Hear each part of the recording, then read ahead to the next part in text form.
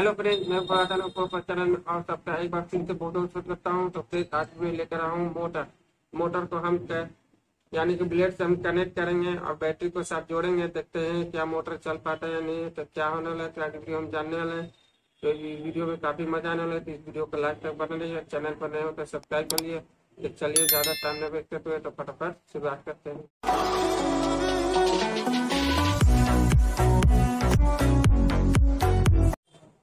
Friends आप देख सकते हैं, ये मोटर है, बैटरी हो गया, और ये ब्रेड, और साथ में ब्लैक, यानी कि पंखी, और साथ में तार को साथ में जोड़ेंगे, देखते हैं क्या होने वाला है। तो मोटर को हम, जब ब्लेड को हम साथ जोड़ेंगे और बैटरी को साथ कनेक्ट करेंगे तो देखते हैं क्या मोटर चल पाता है या नहीं।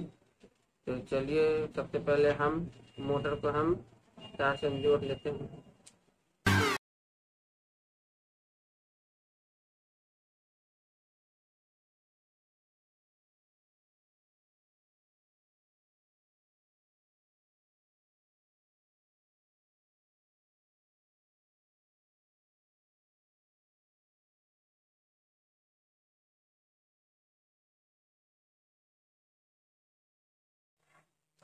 मोटर को हम तार से हम जोड़ लिए हैं।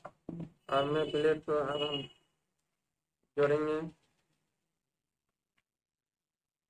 मोटर को अच्छी तरह से हम तार को हम जोड़ लिए हैं और हम ब्लेड को अब तार से हम जोड़ेंगे।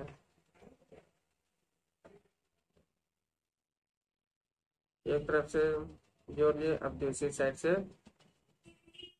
एक को हम तार से हम जोड़ लेते हैं।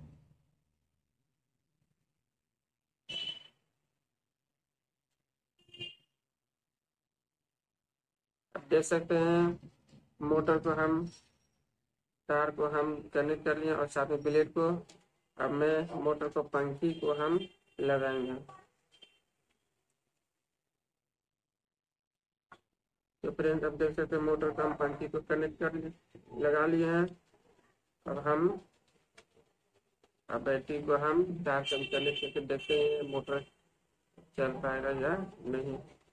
ताकि ये हम देख सकते हैं, जो ब्लेड है, जो स्टेनलेस यानी कि स्टील है तो स्टील पर करेंट पास करेगा तो में यानी कि होला है, यानी कि छीद है, यानी कि गैप है। अब ये चारों साइड पर यानी कि कनेक्ट है तब देखते हैं करेंट जब हम इसके साथ जोड़ेंगे बैटरी को तो मोटर चल पाए चल पाता यानी तो चलिए, मोटर को हम कनेक्ट करते हैं बैटरी के साथ।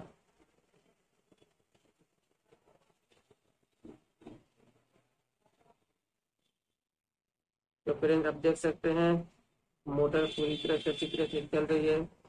यानी कि कहीं ना कहीं ब्लेड के साथ कनेक्ट करने पर ये मोटर अच्छी तरह से चल रही है। यानी कि मेरा मिशन पूरी तरह से कामयाब है। तो फ्रेंड, कैसी लगी वीडियो? अच्छी लगी तो वीडियो को लाइक कीजिएगा, शेयर कीजिएगा, चैनल पर नया हो तो सब्सक्राइब कीजिएगा। तब मिलते हैं अगले नए वीडियो के साथ। तब तक जय हिंद, नमस्कार।